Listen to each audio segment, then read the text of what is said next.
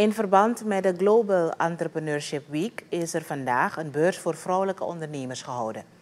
Deze beurs is mogelijk gemaakt door Stichting Foncel en de Act Now Foundation en is gefinancierd door de Amerikaanse ambassade.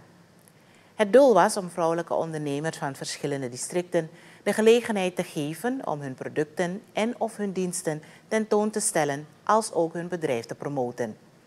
Tijdens de beurs zijn er ook workshops gehouden. Aan deze beurs participeerden ruim 40 ondernemers uit Mikeri, Coroni, Saramaka, Wanica, Para en Guyana. De beurs is gehouden bij Lolokukru en duurde van 12 uur tot en met 5 uur s middags.